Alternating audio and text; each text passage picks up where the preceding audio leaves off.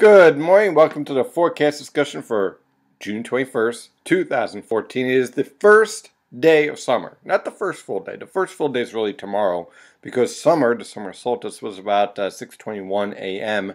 this morning. So you can't really say it's a full day, but we'll just call it the first day of summer. And on this first day of summer, we have a north to northeasterly wind, low humidity, and temperatures this morning as of 10 a.m. ranging from the lower to mid 60s over the northern interior, mid to upper 60s in the New York City metropolitan area, and upper 60s to lower 70s in the Philadelphia metropolitan area. Look at this pattern. This is absolutely beautiful, okay? You have a nice, cool polar air mass in place, no levels of humidity. You walk outside, it just feels refreshing. This is my type of weather. I love this. I know people love the heat and humidity and all that stuff. I hate it. This is heaven right here. So what can we expect for today? Well, as you move north and northeast, it's going to be absolutely beautiful. Sky cloud cover, temperatures in the mid 70s, very, very nice. As you head towards the Philadelphia metropolitan area, you might have to dodge a shower or two, but overall it's going to be a nice day. Temperatures also in the mid to upper 70s. Again, not bad, and low humidity as well. So what's producing these showers? Well, let's take a look at the surface map. What we have here is a perfect case of the North Atlantic Oscillation going negative, and as a result, we have a very nice tranquil pattern setting up for the northern mid-Atlantic. This high pressure system that stretches from the Hudson Bay to the coastal waters of New England will be in control throughout this weekend. However, we have disturbances passing to the south that will produce some cloud cover and yes, a few isolated showers over southern New Jersey. Don't worry, this won't last long. I'll show you why in the water vapor satellite picture in just a moment.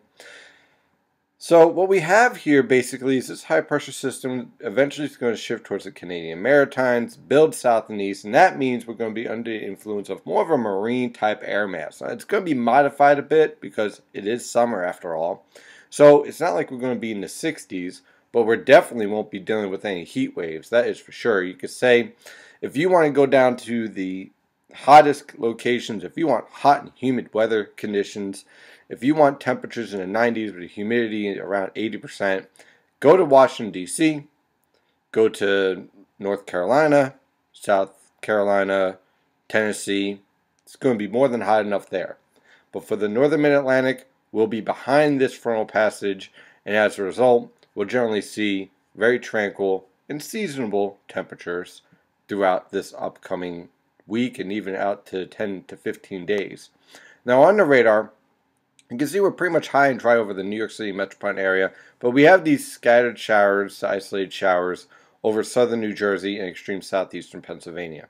This is all going to be suppressed to the south as we move forward through the day, but these disturbances will keep the threat for an isolated shower two in place throughout the entire region, but most likely over the Philadelphia metro. I want to key on the word isolated because the lower levels are going to see more and more dry air build south, and so a lot of this will not reach the ground. In other words, it has more bark than bite in reality. On the infrared satellite picture, you can see that dry air pushing south. You see how the skies are clearing out here. Don't be surprised if you see a little bit more of an increase in cloud cover over portions of, of Long Island, Connecticut, and New York City Metro because of this disturbance right here. But I really think that the threat for rainfall is going to be suppressed further and further south as we go on through the day. And the reason why is because what we're seeing on the water vapor satellite picture. See, what I have here is the upper level winds. And you see how they're kind of coming together here. They're rather strong over the St. Lawrence River Valley into New England. And then they also pick up in strength right around the southern mid-Atlantic. And this is what's called convergence. And when you have convergence aloft, you have sinking air, which is what this black area is. That's sinking dry air. So that's building throughout all of the northern mid-Atlantic. So as a result, that's why, even though there was some rather dire forecasts out there, not for me, but uh, for some locate from some sources suggesting a rather unsettled Saturday, in reality, because of this pattern, really you only eke out isolated showers. It's not a washout at all. You can't have a washout because you have a pattern aloft that has sinking air. And so as a result, any disturbance that kind of drives in towards the northern Atlantic weakens as it approaches. So these thunderstorms get really intense over the upper Midwest with severe weather and tornadoes, and then they dive south and east into this convergent pattern, and then they weaken and collapse. And we end up with what's left of it, which is typically some scattered to overcast cloud cover and an isolated shower or two. And this is generally going to be our pattern all the way through next week, including Friday. Now, with that northwesterly flow, you also get some downsloping, and with sinking air, you also warm the atmosphere. So, for temperatures that would support, let's say, the upper 70s, you end up more with the lower to mid 80s. I think the model guidance might be a little bit too warm towards the end of the week, but I do think most locations will be around 83 to 85 degrees as we move forward this upcoming week. So let's take a look at the latest model guidance using the European model guidance. Again, for today, you have that convergent flow in place. Most locations will remain dry. An isolated shower or two is possible over the Philadelphia metro. For tomorrow, high pressure is even more control. Can't rule out an isolated shower still, but most locations will remain dry. Temperatures will range from the mid to upper 50s for lows. It's going to be it's going to feel absolutely beautiful out there leave open your window. Let that fresh air in. It's going to be absolutely beautiful. For highs tomorrow, upper 70s along the coast, upper 70s to lower 80s throughout the rest of the region, possibly a few mid 80s in the Delaware River Valley. For Monday, same scenario again. Basically, what we have set up here are disturbances passing to our south.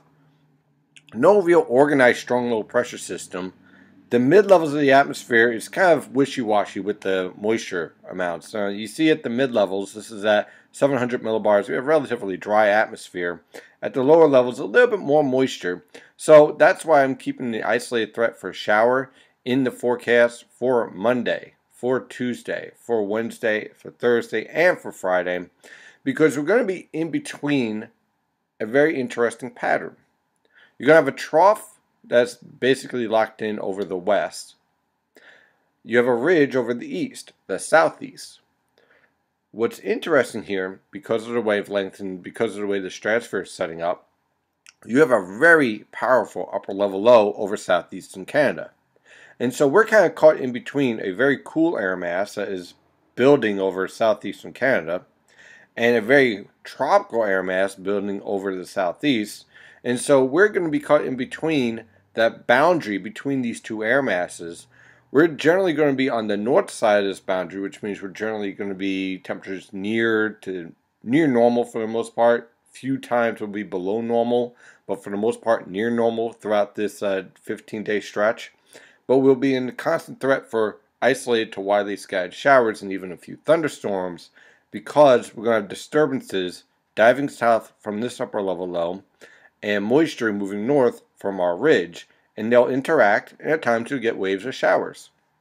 Again, not a washout over the next 10 to 15 days, just something to keep an eye on each day depending how these disturbances interact.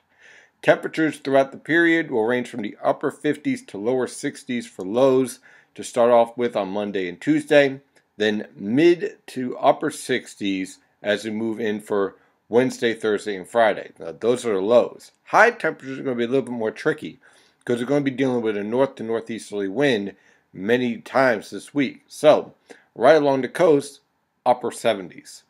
New York City Metro, lower to mid 80s. Philadelphia Metro, mid 80s.